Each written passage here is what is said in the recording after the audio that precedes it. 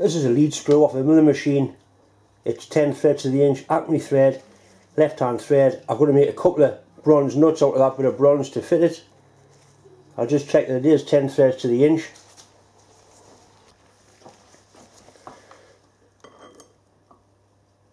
That's a 10 thread to the inch gauge. It's not an Acme gauge, it's just an ordinary Whitworth foam thread. Normally on a lot of machine tools you get a common as 8 threads to the inch which gives you 125 thou a turn. Obviously 10 threads to the inch is 100 thou per full turn. This chart shows the necessary conversion gears to convert the metric lathe to screw cut imperial threads. That's the thread I need to cut 10 teeth to the inch and these are the gears I need to set up in the back of the lathe, the change wheels to allow us to cut the, the 10 threads to the inch. I have got the gears, I borrowed the particular gear I need which was a 63 tooth gear. We'll have a look in the back of the lathe, put the gears on. This is the gear case on the back of the Harrison lathe where the change wheels live. At the minute it's set up to cut metric, I've never had to change any of these yet. I did it quite regular on my Boxford lathe for cutting imperial threads, sorry for cutting metric threads because that was an imperial lathe. I'm going to go over the other way around today and we're going to try and cut an imperial thread on a metric lathe. The top gear, that's what they call a stud gear. That's an idler gear. The bottom one there is your screw gear.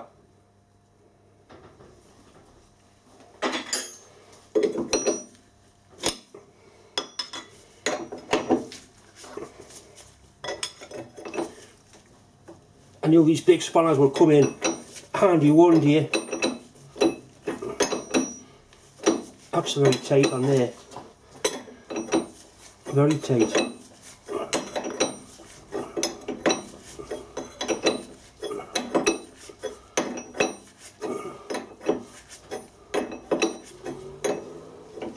Shouldn't be as tight as that.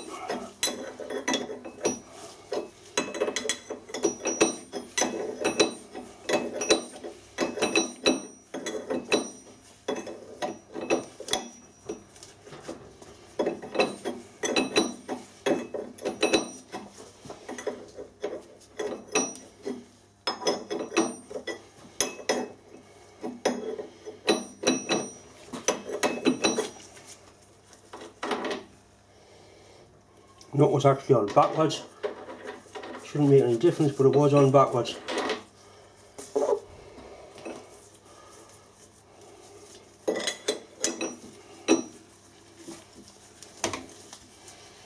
You tell the layers had very little use because the nuts, there's no round the off marks on the flats of the nuts are still nice and, nice and square.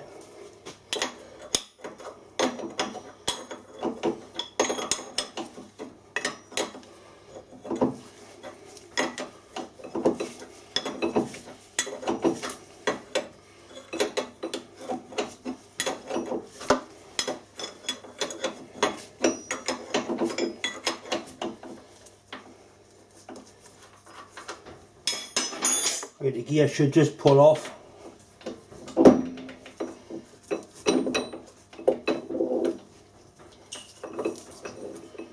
There's key in them, what's the keys doing fall out.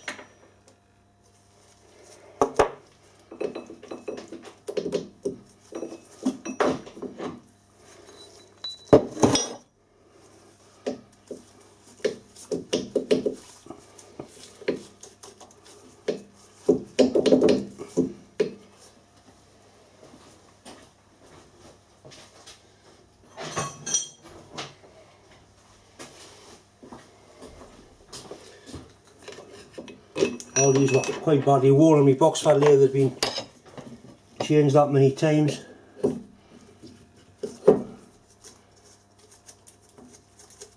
That's a little bit of swarf on there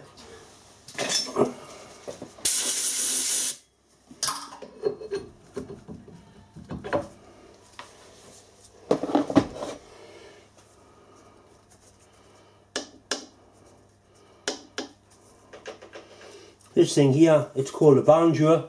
It's actually shaped like a banjo. And what that allows you to do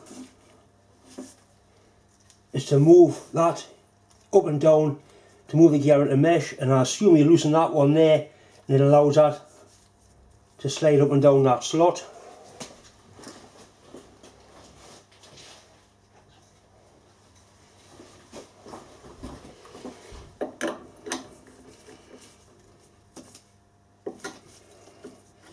Which it does, that's great. Right, we'll get the gears, put the gears on so we can get it set up.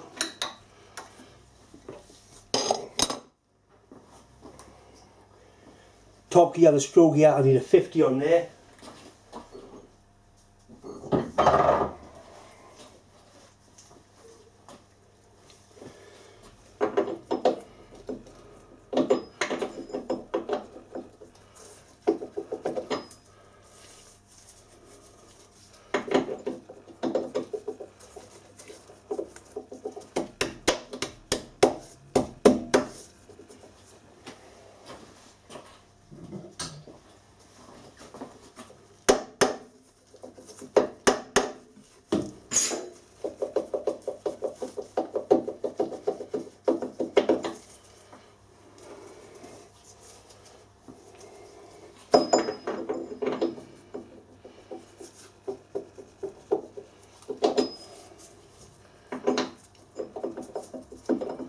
Need a tight fit this.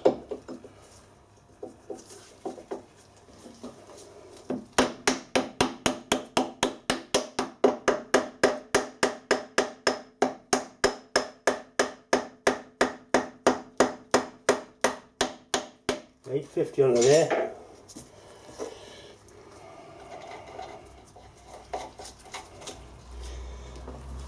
On here only our transition gears.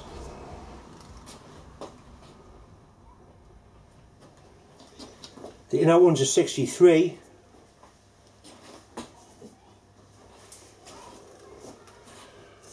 Which is that one. This is the special one. This one that's very hard to get.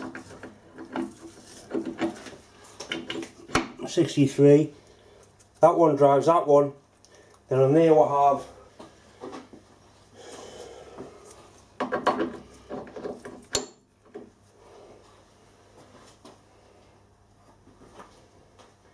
Right, so we've got a 50,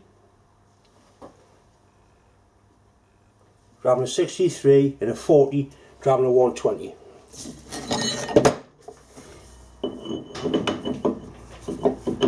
This looks more like it. Right, I need to put a spacer in behind there.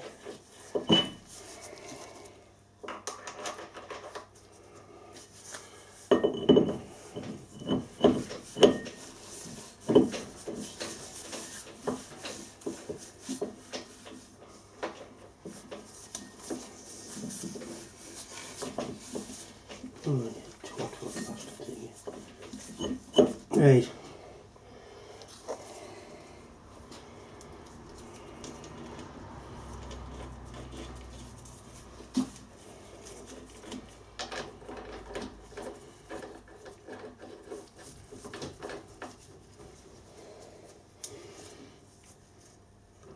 Quite tight on the threads that nut.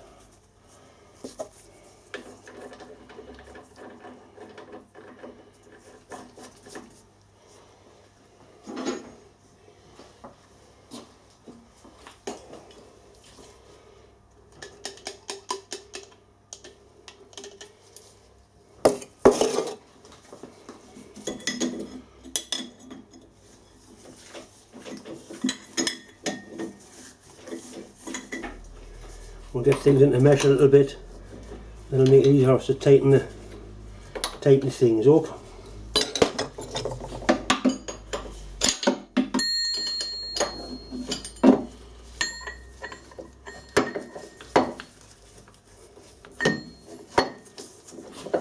And that's sort of how it works.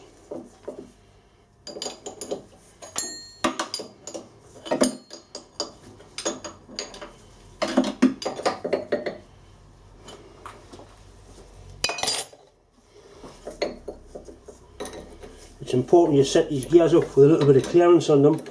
I'll show you once I get the nuts tightened what I mean by clearance.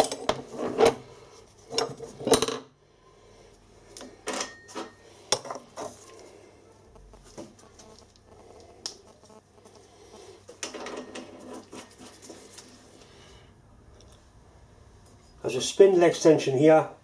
What it does, it stops any shite that comes up the main shaft, the lathe going at the gear train but what's happening is it's catching on that top gear. So I'll have to take it off for the minute.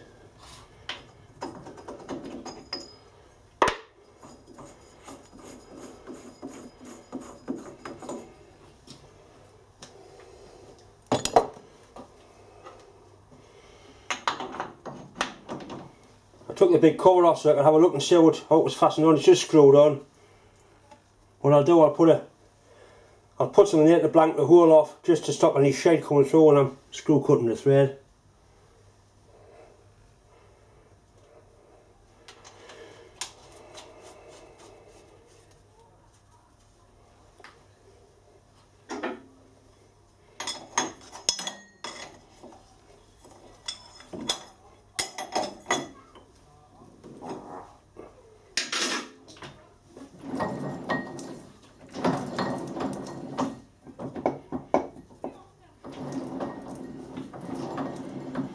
See the gears working there. They're all rattling and clattering about, but it doesn't make any difference. See you need clearance on them.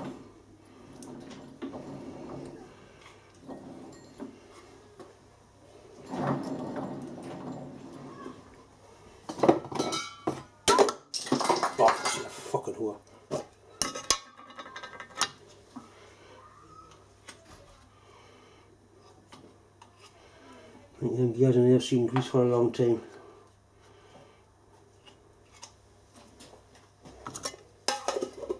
As I see a safety interlock switch down there which stops you from starting the lathe when the end cover is missing. I'll override it just to show you the show you the gears running.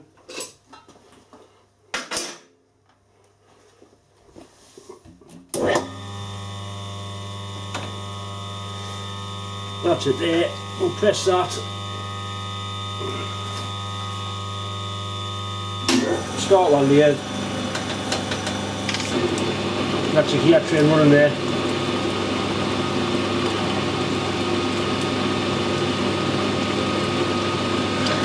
We're up here.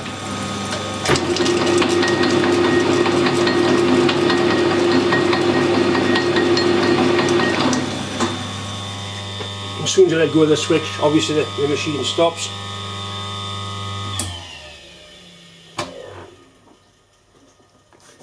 Obviously that was done just to show you that the gear's running under power. Not a good idea to play with safety interlock switches. Right, just to recap, we've got a 50 tooth stud gear, driving a 63, which is attached to a 40, that's a conversion gear, which is driving a 120 stud gear.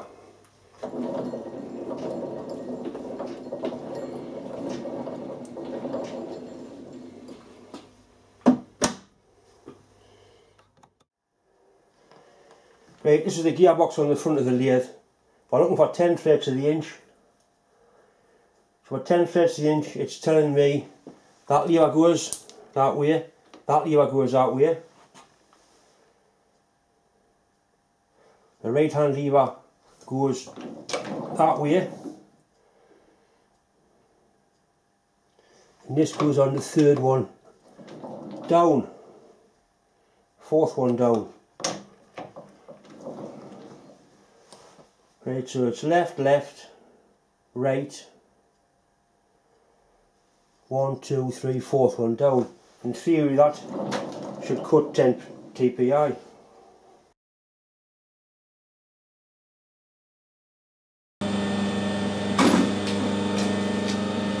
Right, I've got the nail set up, run nice and slow. Got the lead screw engaged.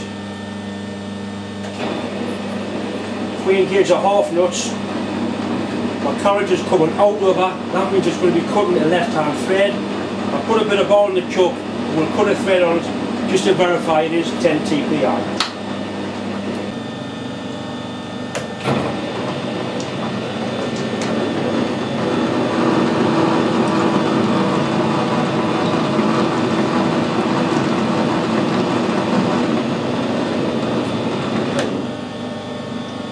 What I can't do now, I can't disengage the lead screw.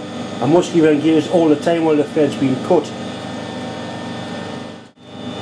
Right, and that is spot on TPI, TPI. That is spot on 10 threads of the inch and it's cut the left hand thread.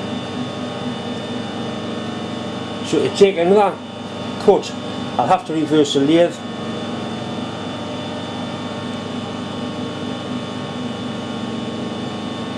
We'll do, do it just for the fun of it.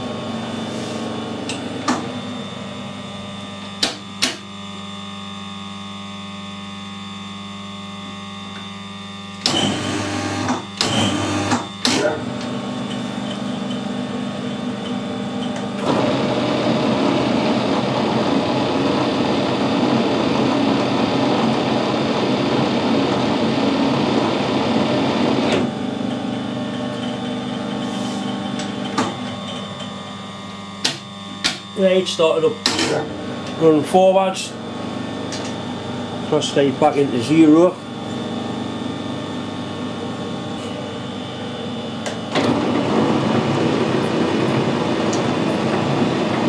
So it is possible to cut his left hand thread, 10 threads to the inch. Of course it's going to be internal which is worse again.